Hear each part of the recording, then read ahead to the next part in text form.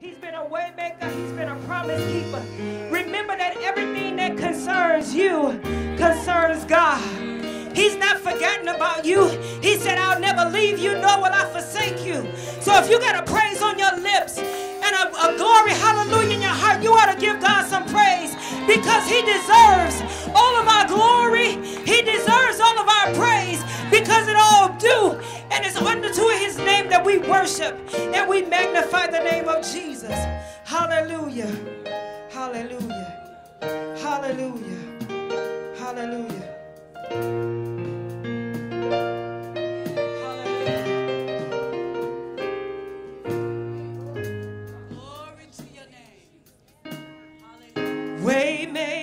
Miracle worker, promise keeper, light in the darkness, my God, that is who you are.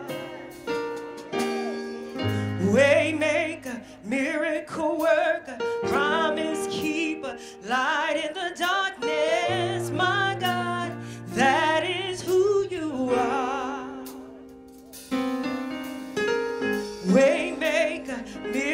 miracle worker, promise keeper, light in the darkness, my God, that is who you are.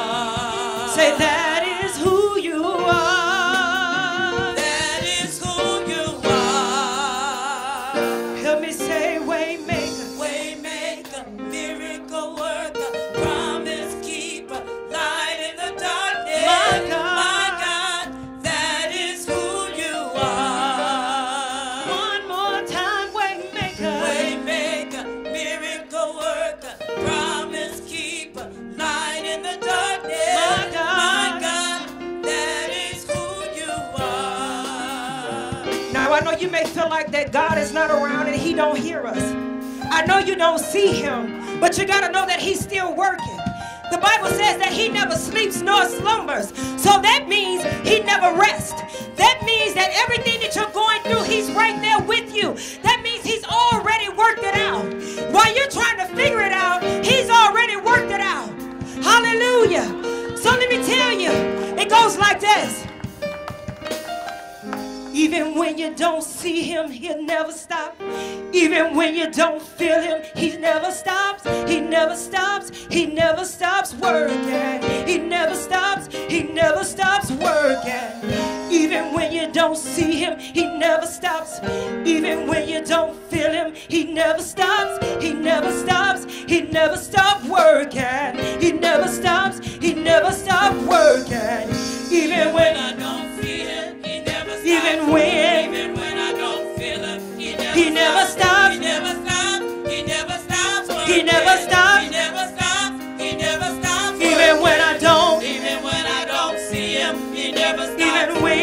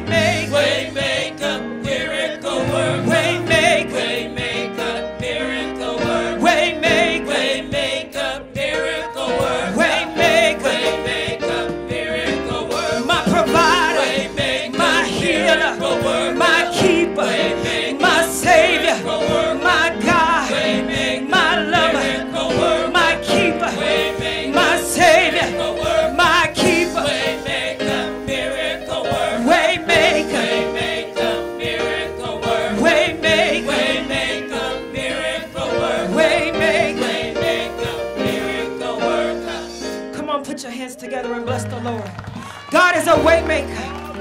I know it's hot outside, but you have not lost anything during this pandemic. You're not homeless. You got food in your refrigerator. You got clothes on your back. God has still been provided. He still paid the bills. Huh? Hallelujah. Your kids are still alive. Your family members are still alive. God is a keeper. He's a healer. He's a provider.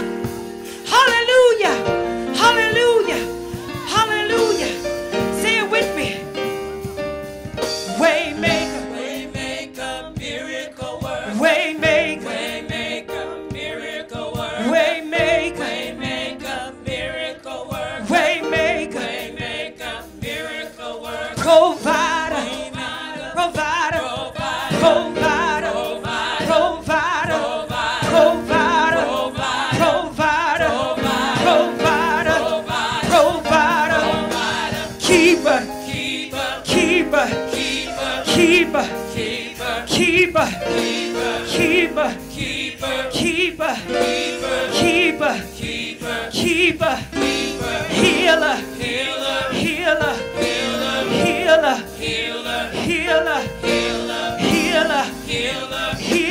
Healer. healer, Healer.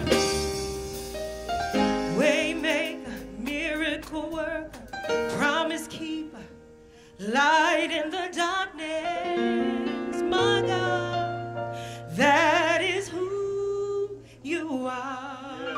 Yes. Come on, put your hands together and bless the Lord. Hallelujah. Hallelujah.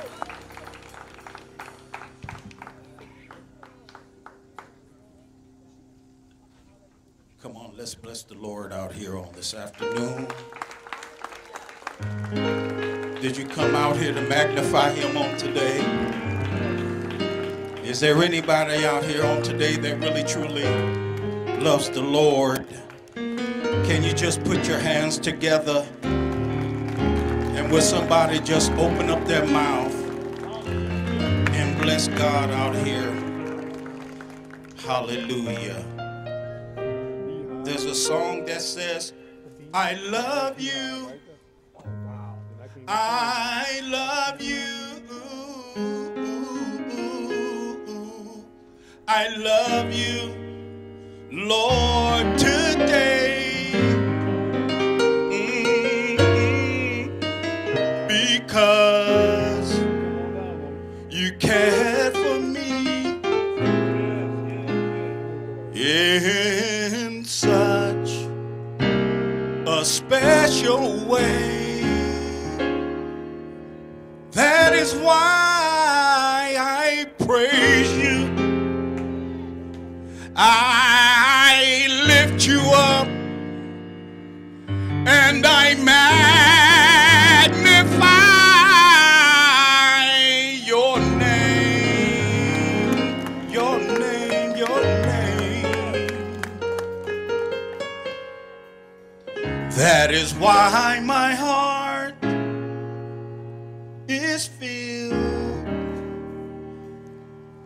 Praise. Can I say it one more time? I love you. Yes, I do. I love you.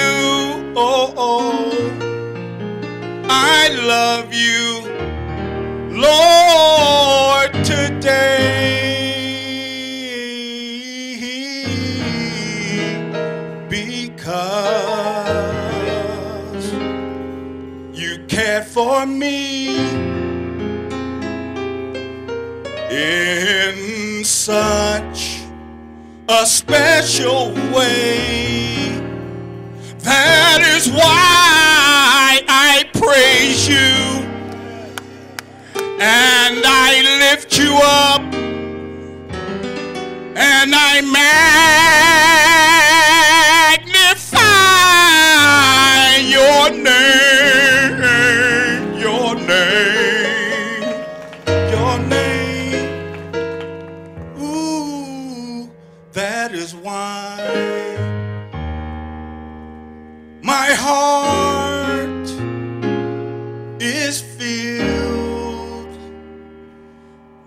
praise.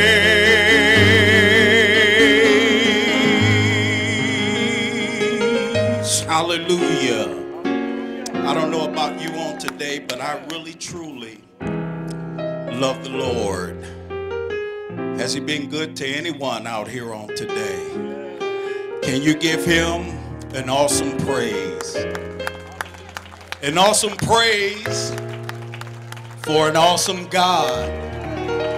Hallelujah. How many of you know that your God is awesome?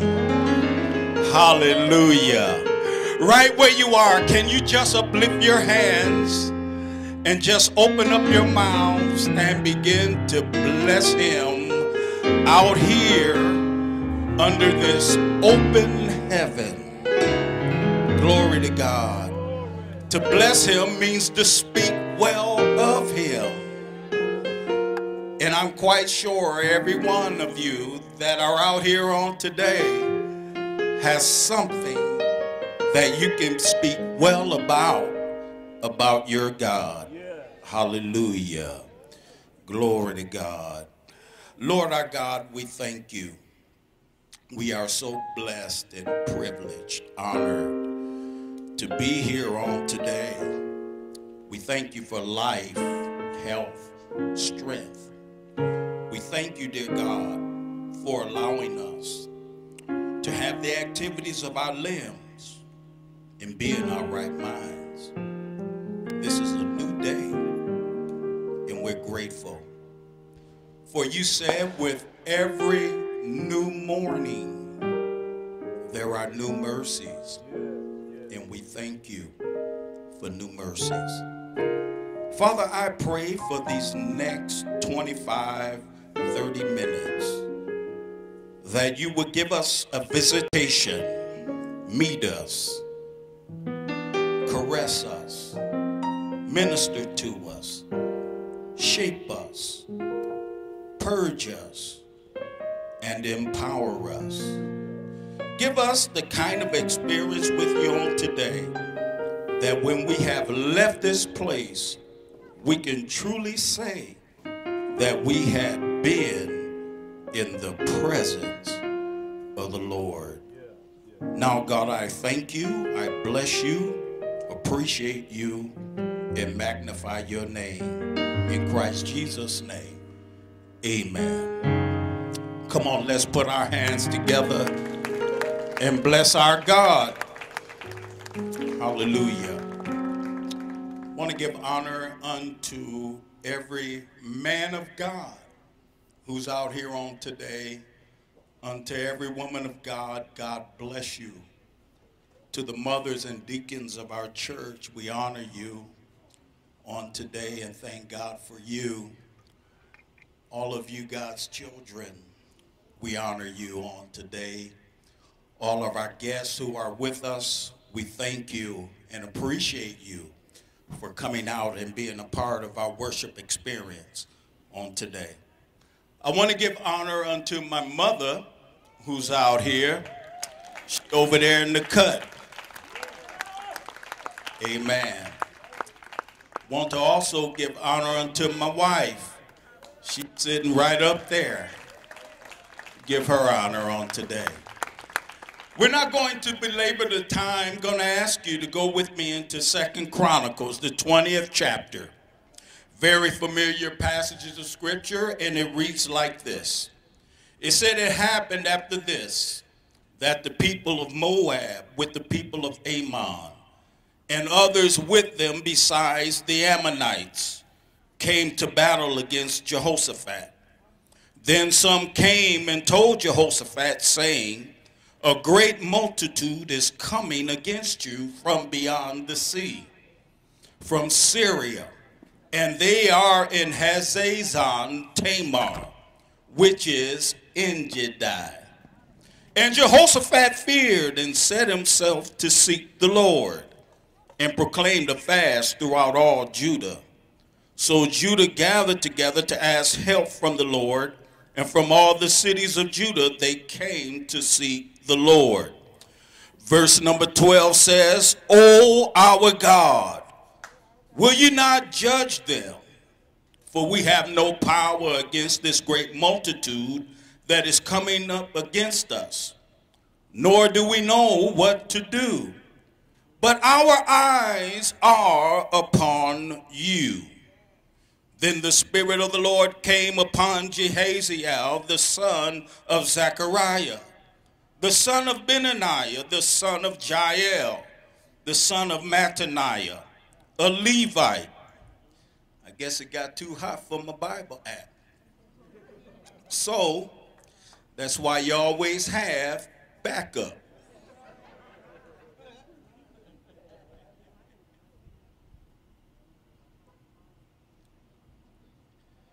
Give the devil no space. Amen.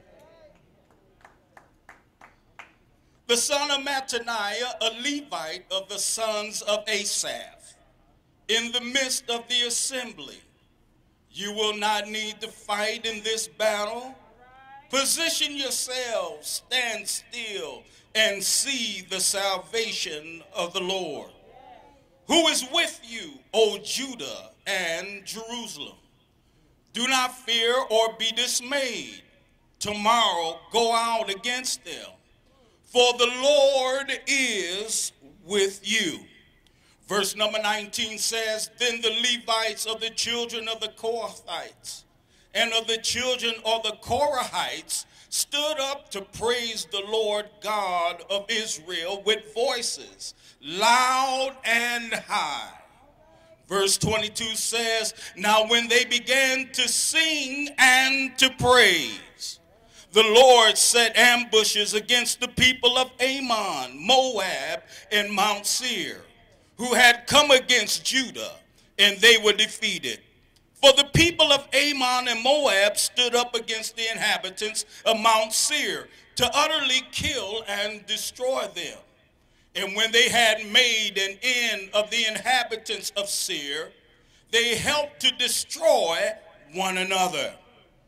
So when Judah came to a place overlooking the wilderness, they looked toward the multitude, and there were dead bodies fallen on the earth. No one had escaped. When Jehoshaphat and his people came to take away their spoil, they found among them an abundance of valuables on the dead bodies and precious jewelry, which they had stripped off for themselves, more than they could carry away.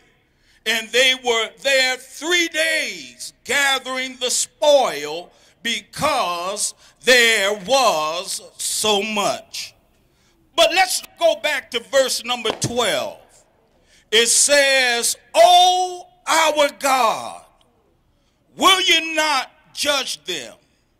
For we have no power against this great multitude that is coming against us, nor do we know what to do, but our eyes are upon you.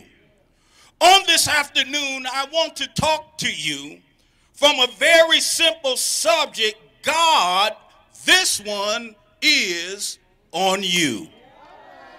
Would you repeat after me and say, God, this one, is on you. I want you all to hear me on today because if you are here today and that's you, I just want to ask you if you would just begin to open up your mouth and praise and bless God. And understand on today that this one is on God. Brothers and sisters, I want you all to understand something on today. That there is a time and a place in life where you will find yourself, if you haven't already, emotionally, mentally, and physically drained from life. Its issues and its problems and the drama that comes along with life. Where you have given every ounce of your fiber and your faith and still find yourself reeling, bewildered, and frustrated. dealing with unruly people and vicious lies and threats, broken promises, struggling with sickness and disease, the death of a loved one, the loss of a job, family strife, financial trouble and turmoil, or just people, people who are trying to destroy your life attacking your name and trying to bring affliction to your character. Whatever it is, I just stopped by just to encourage and to inspire you and to tell you on today stop banging your head up against the wall. Stop getting frustrated and stop feeling like you can't take no more and just tell God, because let me tell you something. There is a point in your life where you just have to understand and tell God that this one right here is on you. In other words, I have done all that I can do. I've given all that I have spiritually. I've given all that I have mentally and intellectually. I have given all that I have, even emotionally. But God, this one is on you. Now, listen and let me say this because if you're being hard pressed, if you're being stressed because of your own doing or your own mischief, I'm here to tell you this ain't for you today. But if you're a person out here today that has found yourself hard pressed and stressed. Your name and your character has come under some form of attack, and you haven't caused it to happen. I'm here to tell you that this word of encouragement is for you. Can I talk to you on today? Because I don't care if you're in the midst of one of the greatest battles of your spiritual life. I don't care if hell may have uh, an all out attack against your life. I'm here to tell you, like the words of David. When David said that when the wicked came up against me to eat up my flesh, he said, My enemies and my foes, they stumbled and they fell.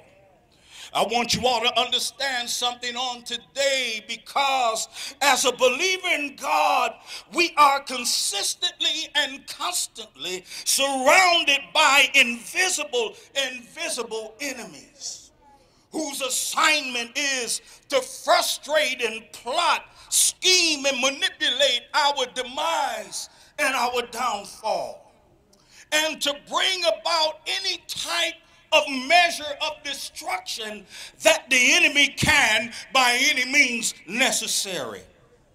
I want you all to know that we are in what I call a spiritual struggle. We are in a spiritual fight. We are literally fighting for our spiritual, emotional, and physical existence in this earth. And the enemy, the devil himself, has given his demons an assignment. And their assignment is to destroy the righteous. One thing that the enemy has the upper hand on is, is that he knows how to manipulate our flesh. Another thing about the enemy is this is that he will never try to fight you in the spirit. But the enemy, if he can, he will do his best to try to attract you to come out so that he can cause you to enter in to your flesh. In other words, the enemy wants you to fight him face to face. But as a believer in God, you have to understand something on today that the weapons of your warfare are not carnal. Meaning that the weapons that God has given you are not worldly. They're not man made, but they are spiritual weapons that God has empowered the believer with that the pop that the that the that the believer has the ability to destroy the powers of darkness. The word of God said, casting down imaginations, everything that exalts itself against the knowledge of God, to take into captivity every thought to the obedience of Christ. You have to learn how to use your spiritual, your spiritual, your spiritual authority. Can you just repeat after me and say, use your spiritual authority? But I'm here to tell you there comes a time in your life when you have done all that you know is right and you have gone as far as you can go. This is when God will let you know that I'm going to take over and I'm going to take it from here. And all you need to do is just like Moses told the children of Israel. Moses told them, he said, I want you to get still and just see the salvation of the Lord. There's a reason why God wants you to get still. Because, see, sometimes we can be a little bit antsy. We can become a little bit itchy. And then we can find ourselves moving ahead of God. But what God wants us to do in being still is finding that resting place that resting place in him. Here in our text, we have Jehoshaphat whose back is against the wall. And it has happened simply all because what he had previously done when you read in the 19th chapter of the book of Second Chronicles. Jehoshaphat, when you read in the 19th chapter, and you begin reading, you will learn and you will find out that Jehoshaphat had made major changes and he had made major reforms in Judah. In other words, he had brought the people back to God. He had set up judges throughout all the cities of Judah. And he had given them instructions in how to judge the people and to judge them righteously. He had appointed some of the Levites, and he had appointed even some of the priests to carry out the spiritual matters that uh, in order for them in serving and how that they would serve, that they would serve in fear of God just not any kind of way, but they would serve in fear of God, being faithful to their charge and having, the Bible says, a loyal heart. He had removed the wooden images from the land, meaning that he had removed false worship from Judah and had even prepared even his heart to seek God. In other words, what Jehoshaphat was doing, he was trying to bring the nation back to God. Can I tell you all something on this afternoon? The enemy gets upset when you set things right and in order with God.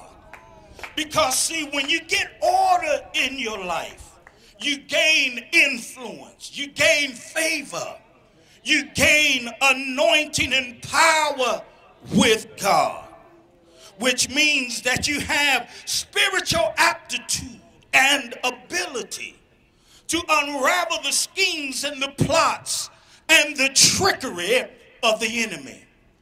And just like with Jehoshaphat, the enemy has it up in his mind that he's going to up his game even when it comes to you. In order to try his best to intimidate you by overwhelming you with a multitude of issues and all at once out attack against your life. the enemy will do all that he can within his power and his ability to try to get you to lose your focus and your drive and your strength in God. But now, when you look at Jehoshaphat, even though he gets bad news and his first response is to become fearful, yet when you look at him, he never loses focus on where his help lies. So he looks and he seeks God through fasting and prayer. I remember a long time ago, they would say, Yes, uh, if you fast, you will last. If you pray, you will stay. I'm here to tell somebody out here on today there is a point in your life where shouting and dancing and rolling in the floor and running around the church just don't cut it. Now, don't get me wrong, I like shouting, I like dancing, I, I like praising. But there is a point spiritually as a man and a woman of God where your shouting and your dancing and your praise won't get you where fasting and prayer will take you. Sometimes you got to go a little bit deeper. Because see there are certain problems. There were certain issues, there are certain spirits, there are certain devils that just shouting and dancing and praising God just won't get the job done. But there comes a point as a believer when you got to literally go there in God, where you got to get down to business with God. You've got to push away from the table. You've got to turn your plate over and get down to business with God. Would you help me and just shout out, get down to business with God?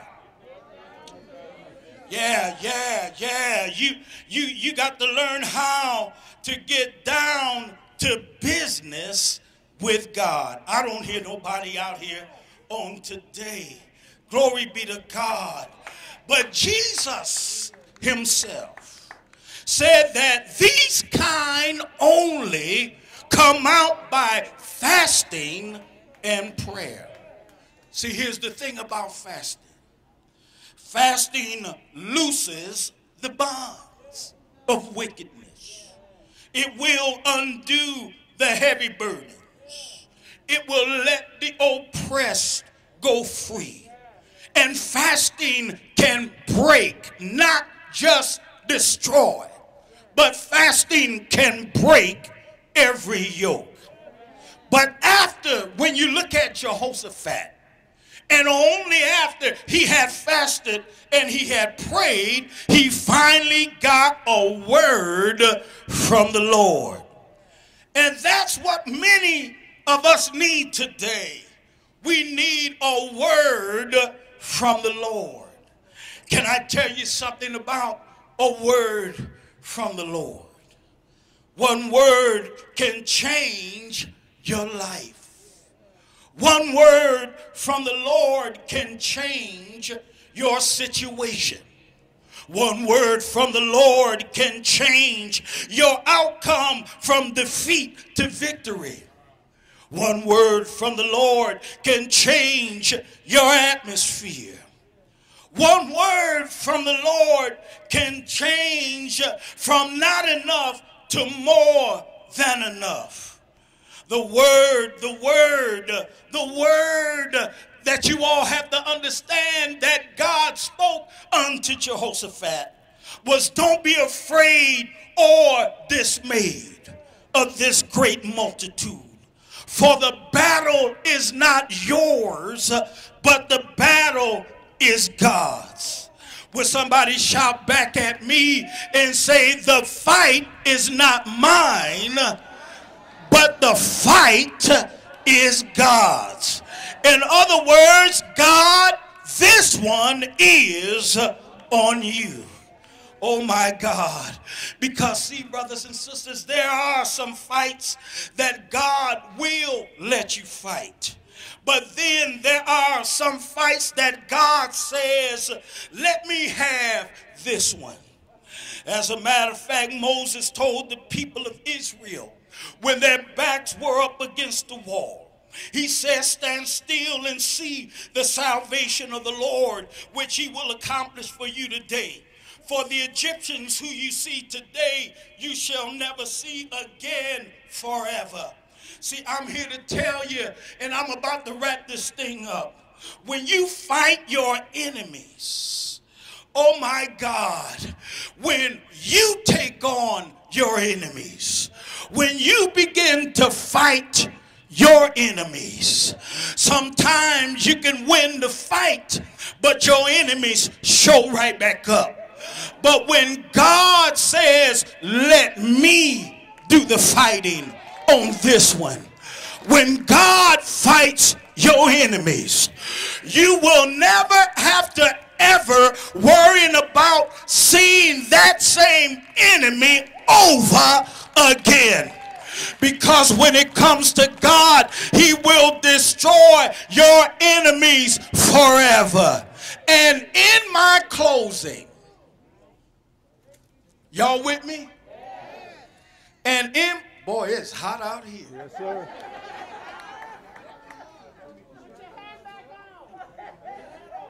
That hot, that hat made me hotter, Yes, sir. Sister Mary. But in my closing, when you look at what the children of Israel did, after God defeated their enemies, when you read the story, the Bible says how God set an ambushment. The same enemies that got together who conspired to come up against Judah. God got in their minds and they turned on each other. I'm here to tell you, ain't it something funny how your enemies will all come together for your defeat? But God. Oh, I don't hear nobody out here. But God. Because when God gets in the action, everything changes. Where it looks like everything is against you. Oh, I heard it, I hear it right now. If God be for me, he is more than the world against me. In other words, those enemies turned on each other. And before it was all over, all their enemies were dead. God flipped the script. And I'm here to tell you on today that He wants to flip the script for you. Oh, I don't hear nobody. But there's something that you have to do, something soft. There is something you have to do. Number one, acknowledge God. I, I don't care what's happening, what's going on, what you're being confronted with. Whatever temporary disturbances that are going on at the present time, acknowledge God. By you acknowledging God, that's you keeping your focus on the source of your strength. Number one, acknowledge God. Then there comes a point in a time that you have to really learn how to seek the face of God. I've learned that when I am overly frustrated, I have gone as far as I can go. And it's at that point that I realize it's time for me to take a step back and allow God to take a step forward. Jehoshaphat realized that. He didn't try to do it himself. And that's something sometimes that we as humans will try to do. We'll try to fix it ourselves. We'll try to do it ourselves. Instead of allowing God to get in the mix. Jehoshaphat allowed God to get in the mix. And after he fasted, after he prayed, only then did God move. Can I say something? Fasting is not a popular thing. I had somebody ask me, they, they said, if I don't fast, does that mean I'm going to go to hell? I told them, no, you won't go to hell for not fasting. But by you not fasting, you are cheating yourself out spiritually on the empowerment of God.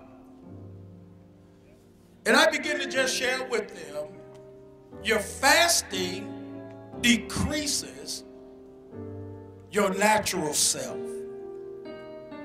and causes your spiritual self to increase to where you become more sensitive to the voice and the leading of God. Is there anybody out here today that needs a word from the Lord?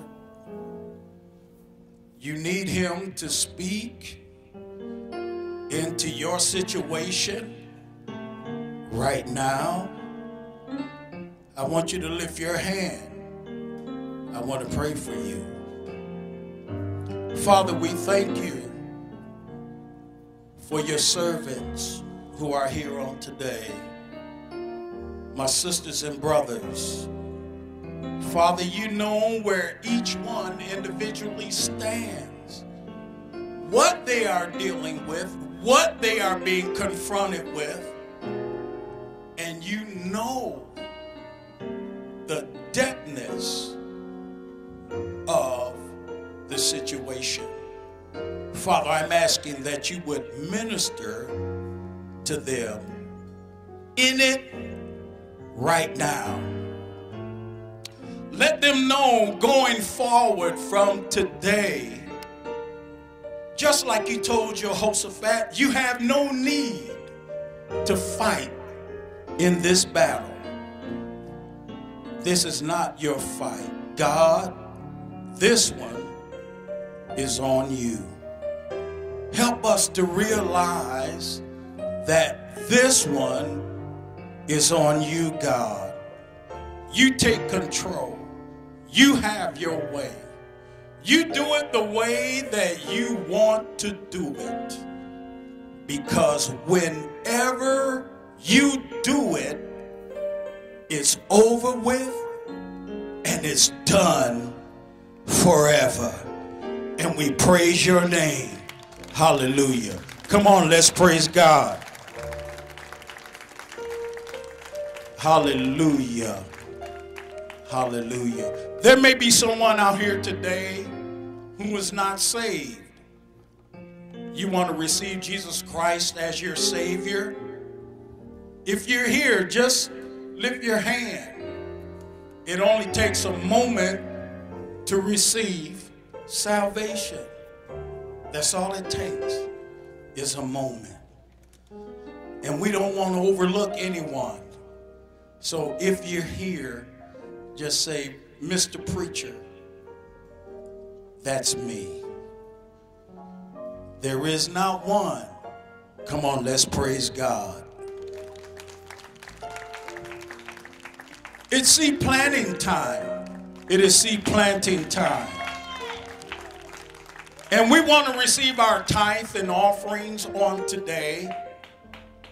I want to challenge every one of you, if you have not already given, if you would share a gift of love on today. Hallelujah. If you want to give electronically, you can give through the Cash App. Cash App money sign HTC 2140. Money sign HTC 2140. Hallelujah.